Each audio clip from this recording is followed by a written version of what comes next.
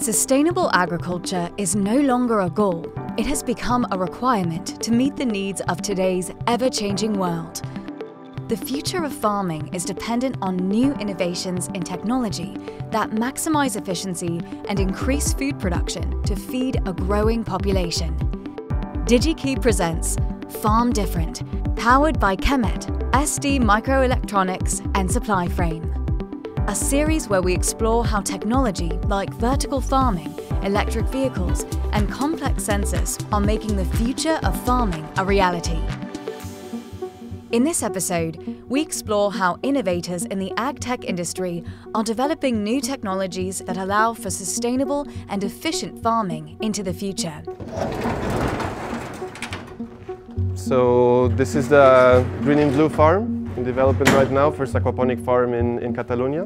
We're developing the space basically. We took back a, an ancient greenhouse that was 30 years old and repurposed it for aquaponics. And here we're experimenting how to combine artificial light with the LEDs uh, with natural light.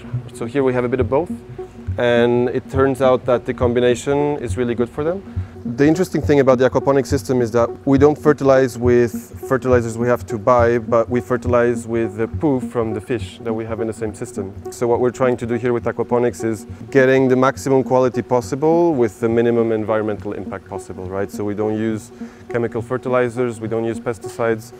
Aquaponics allows us not only to farm more sustainably, but also to farm much faster and make a production out of these 1200 square meters that we have here, which maybe in an open field we'd need an entire hectare to do. The idea is that the cycle is small and minimum carbon footprint as well. Alex Roscoe is the co-founder of GrowFlux Inc., a leader in horticulture lighting systems and connected IoT farming offering intelligent systems that can be set up in minutes rather than months and are controllable using intuitive apps. I started the company around seven years ago and I started to see that the impact of controlled environment agriculture is going to be huge and that there is uh, nowhere near the right technology uh, needed in the space to scale farms of the future. In some places, energy is 60% higher in only the space of three months. And so when you have you know, farms, indoor vertical farms, greenhouses, and equipment makers uh, within this industry that have to respond to that, what we're finding is that eh, more of them need our products and services. Farms and growers that have the advantage of data solutions as well as the software APIs to connect data they're the ones that have the advantage in this environment where all costs are going up. Our core product is uh, plug and play lighting controllers. These are IoT devices that have robust wireless mesh networking capability and cloud connectivity built directly into the product. When it comes to developing new products and discovering new products, uh, DigiKey has you know, more uh, manufacturers that we otherwise would not find. You know, traditionally, controlled environment agriculture has been behind the times on technology, uh, but that's starting to change rapidly. I think there's a little bit of a misconception about farmers and tech. What I've experienced is that farmers are not tech agnostic, they're tech impatient. So you've got to build something that fits into their operation and delivers what they need easily tech needs to work for them. They shouldn't be working for tech. So they're willing to invest what they need to if the solution is proven and it can help them. I don't have an ag tech background. I have a manufacturing background. They know what it takes to grow a great crop.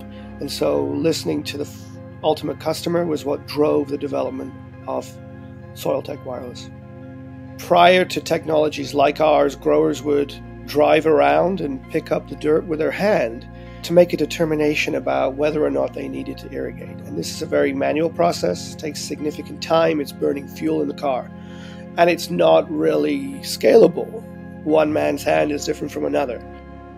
We set out with the goal of developing uh, a sensor in, in a capsule that you could bury totally under the ground. We put together a lot of various different parts into a capsule, put it under the ground to see if it would transmit and if we could get reliable moisture readings, which we could.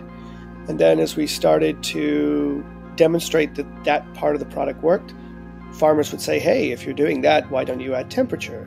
humidity, and various other sensors. So it evolved uh, with, with feedback from the growers. Water is critical to growing a lot of crops, and managing that water is of utmost importance and is becoming more and more important as we face drought throughout the country. Riley M. Kuffner is the CEO of Miravel, a company focused on reducing the world's reliance on mass produced agriculture, bringing sustainable, farm to table agriculture into today's homes. We call this stuff like creating an adaptive habitat. Um, so, you know, it starts with robotics and controls that can provide the inputs for life. Um, so this wall garden behind me has LED lights for lighting, um, an automatic irrigation system, um, and we also are able to control um, the fertilizer, um, the nutrients that plants get. Set the time, and you're pretty much off to the races. We'd capture environmental variables, so whatever's going on, where the unit's located, like temperature, humidity, the ambient light, um, and then have cameras that can detect the health of the living species, so see how the plants are growing. We send all of this data um, through our IoT-enabled microcontroller to the cloud, and then we have AI models that can analyze the inputs and the outputs to learn how to grow food most effectively in any given environment. When you go ahead and um, you know, tile this together um, on a whole wall, you can build it um, in during uh, renovation or new construction.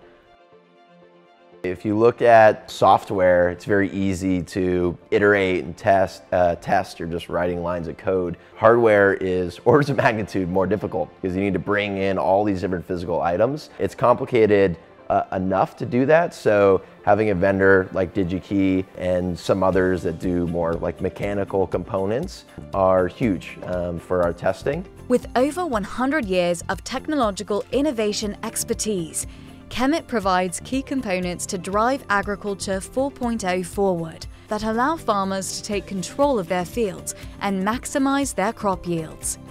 For me personally and, and the team at Kemet, what's happening in the agricultural industry mirrors what's happening in other industries as well as, as big data, electrification, analysis, artificial intelligence techniques. They all require more advanced components. And, and that's exciting for us because that's what we do. We're in the component industry. We build those things. ST Microelectronics is a leading global semiconductor company that provides key components for all manner of modern electronic devices, including those found on today's farms. We just don't sell the customer a solution, we help them in the implementation as well. So to see them apply in various aspects, that is very uh, gratifying for a company like ST. Sustainability is key for the art of farming to meet the demand of a growing population. New technological innovations are enabling agriculture to discover new methods of growing, harvesting, and shipping food.